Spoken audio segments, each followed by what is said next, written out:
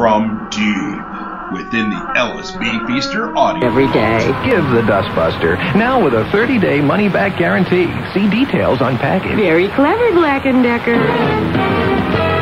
This is news from 66 WNBC, New York. I'm Charles McCord. Here's what's happening at 8.30. George Bush campaigning in our area today. He'll visit both New Jersey and Connecticut, meets with some black ministers in Teterboro, then gets the endorsement of the Passaic County PBA.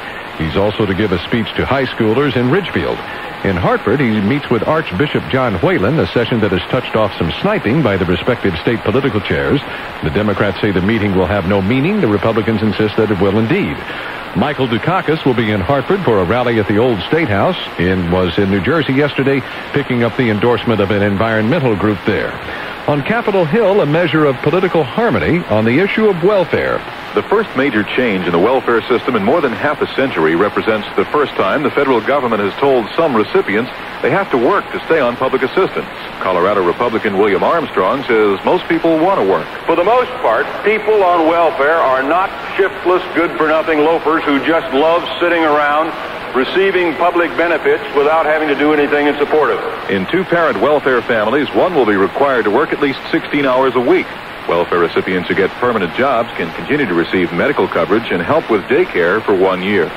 Al Freeman, NBC Radio Network News, Capitol Hill. In Moscow, some major league moving and shaking going on. Communist Party Chairman Mikhail Gorbachev also wants to be president and get the party out of the everyday life of the country. To that end, he's doing some shuffling at the top level, including saying goodbye to former foreign minister and now president Andrei Gromyko. For one, it removes uh, one of the members of the so-called Old Guard off the Politburo. There's another Old Guard member leaving the Politburo as well. So Gorbachev's strength in the Politburo grows more than it has been. Gorbachev will eventually, it appears, be uh, president of the country as well as general secretary of the party. NBC's Sandy Gilmore in Moscow. The Soviet journalist told American reporters he wouldn't be surprised if fully half the party bureaucrats now assigned to the workplace were moved out. American Secretary of State George Shultz is at 30 Rock this morning for a breakfast meeting with NBC executives. Typically, nobody in the TV or radio newsrooms was told he was here.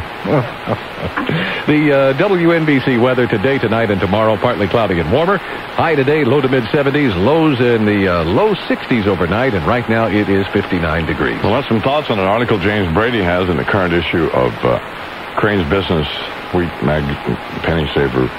It's not a penny saver. It is a well-respected uh, uh, journal of the business community, widely, widely read and respected by business executives. James Brady on Jim Jensen here in just a couple of minutes, plus Roz of the Cars, and I'll have sports. And uh, we have Bobby Ojeda's gardening tips. Bobby Ojeda's Victory Garden. Yard work with Bobby Ojeda. Tips on how to do stuff out in the garden. Yeah. In your yard and stuff. Fine. Bobby had a problem, you know about Roz, right? Absolutely. Yeah. Bobby was trying to trim the hedges And gave himself a manicure. out in the yard with uh, electric hedge trimmers, and uh, and uh, he cut his finger nearly off. And it was the finger on the hand he pitches a baseball with, and that's how he makes a living. And uh, we think Bobby's stupid. The WNBC News Time is 833.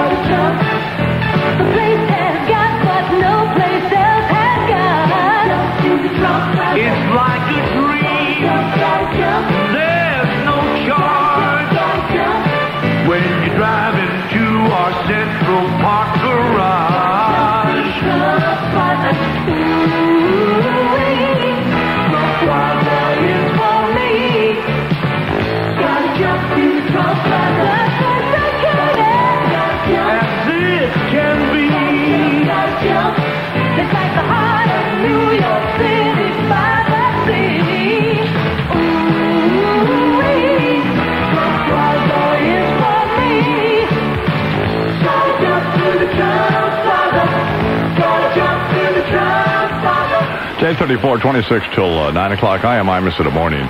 Rob Bartlett's going to be at Club 1407 again uh, tonight and tomorrow night. Uh, showtime is 8.30. And uh, Loves, loves to Newberg. What? Is she going? She was asking me about Rob. She thinks he's very funny. Because we haven't seen him in a while. I'd love to go see him every now and then. He's terrific. Oh, Club 1407 is on Broadway between 38th and 39th, and uh, it's a good time of year to come to the city. There's not a lot of nuts running around. All the morons are here for Christmas and all that. And uh, Rob is very funny. God, and the food's good there, and uh, the food's, you know, it's okay. And tonight's it's a pretty nice place. But he's very funny, so that's why you Club 1407 is pretty easy to find. It's on Broadway between 38th and 39th. You know, we, we take our own food. Oh, you do? Yeah. take a little bag. We played no records this morning. That's right. Well, I, I, I don't like that. Why haven't we? I've had time. You've been rapping, babe. Uh, it's 25 to 9 o'clock. This is a re- this record is by Bob Bobby McFadden. Farron. McFerrin. This is the number one record in America, isn't it? Yeah. it was. And it's ju- it probably was. And uh, there's no there's, there's no music on this, right? No, it's all him. It's just him. Crack. Have you not heard this? Yeah, I have heard it. Uh, have you heard it? Yeah, yeah. Uh, no, I no, I haven't. All right, I haven't. so what? I haven't heard it. Okay, so send me away to uh, the disc prison. Well, let's listen to some of it and see if we like it.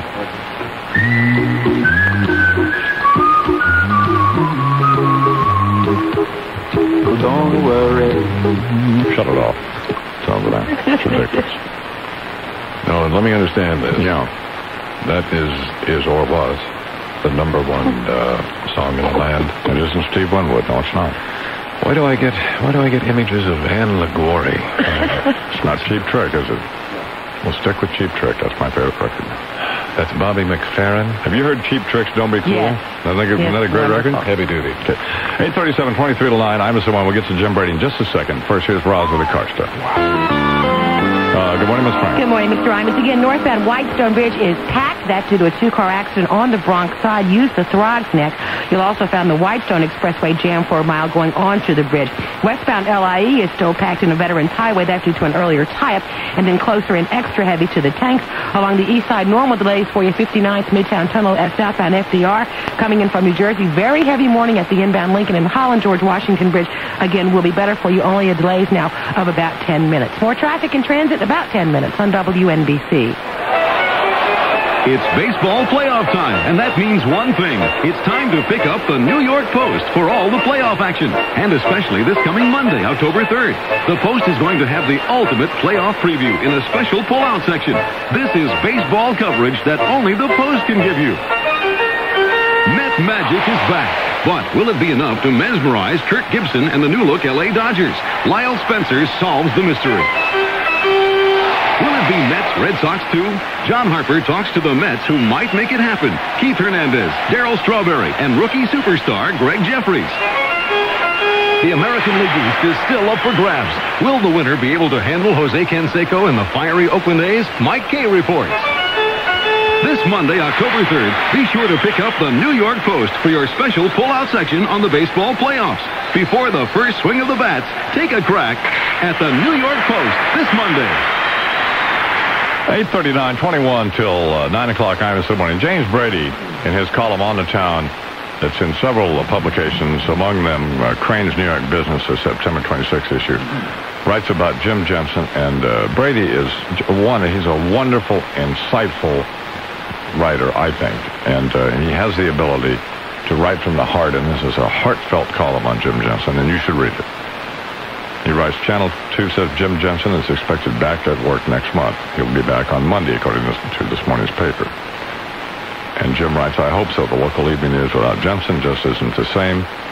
But I hope so for another reason for Jensen himself. When WCBS TV put out a statement last month that Jim was in rehab for treatment for substance abuse, it didn't come precisely as a surprise.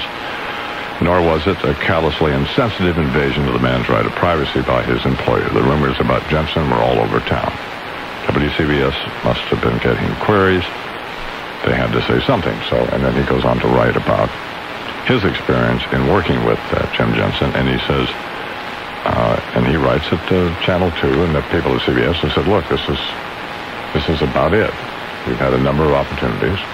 We've been in uh, apparently been in a couple of rehabs, and so uh, and so they're giving him another chance, and it, and and uh, The reason I bring this up is, first of all, I, I have a tremendous admiration for Brady and the fact that he would even would take on this subject and write about it. And he writes, and he concludes this article saying that for years people hushed up a news story about a news guy talking about Jensen. Did any of us do him favors because uh, Brady worked with him over two years?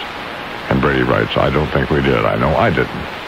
Well, one of the problems that people have who are around people who have a substance abuse problem is what do you do about it? And there isn't anything you can do about it.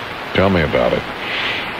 You know, you can tell you. I mean, I've had people for years say to me, you know, you, you drink too much. You ought to stop doing cocaine. You ought to stop. Or maybe they don't say anything. They just try to. They just ignore it as long as they possibly can, because because it because when you when you are abusing drugs of any kind, you do put people in a position that's that's difficult for them to deal with, and so. Uh, you know, it, it, it appears as though Brady feels sort of guilty about this, but you really can't. I mean, I, you could maybe people. Lots of people said to me, "You ought to stop drinking," and I said, "Well, okay, I don't really have a drinking problem." I mean, you, there's such a there's such a uh, we're all wrought with this with a, a tremendous uh, sense of denial that people uh, trying to people saying things to it doesn't really do much good. I mean, it just you know, it goes in one ear and right out the other. To coin a phrase. Oh, the point being, no, I, I know that we all have to come to our own yeah decisions, and you all, and we all do. So we wish Jensen a lot of luck. But I, I have tremendous admiration for Brady, who we've given a bad time on occasion, but he is a he is a wonderful, heartfelt article, and I have tremendous admiration for his courage in taking on a subject that he didn't have to bother with. He could have written about one of those phonies he hangs around with, but he didn't. And here he is with that age. Rupert Murdoch, who may be our busiest press lord, is usually buying magazines. Just a few months ago, he spent $3 billion to take over TV Guide. Now Mr. Murdoch is paying off. He sold his half share in Elle, the very popular new fashion magazine, for a reported $150 million. Rupert made the deal with Hachette Publications, his French partner at Elle. Obviously, Murdoch has to sell off properties to help pay off the enormous debt of the TV Guide deal. But there have been other developments at Elle which may be a consideration. Elle is just three years old. It's done so well, so fast, some people think it's peaked. Just last week, its publisher, Mary Beth Russell, jumped ship to join Family Media. There, she'll oversee a group of magazines, Savvy, Model, Taxi, and Health. Jim Brady, Advertising Age. Visit most luxury automobile dealerships, and you're likely to hear a lot of talk about things like bloodlines and image and noble traditions. But visit an Acura dealership, and you'll hear about a tradition we consider to be more meaningful. A tradition of satisfaction. For the second year in a row, Acura has been named number one in customer satisfaction by the J.D. Power and Associates CSI survey, which measures customer satisfaction with product quality and dealer service. Not number one for luxury cars or imports. Number one among all automakers, period. Again, which means that people aren't only impressed with the image surrounding Acura, they're impressed with the cars themselves. Which brings up an important point. When you're shopping for cars and listening to the people who sell